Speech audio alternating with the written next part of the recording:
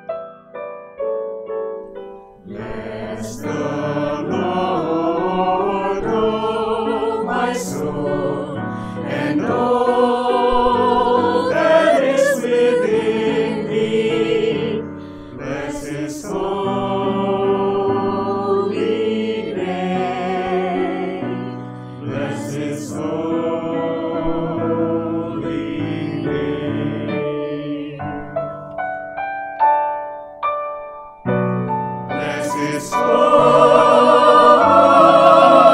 name. Bless His holy name.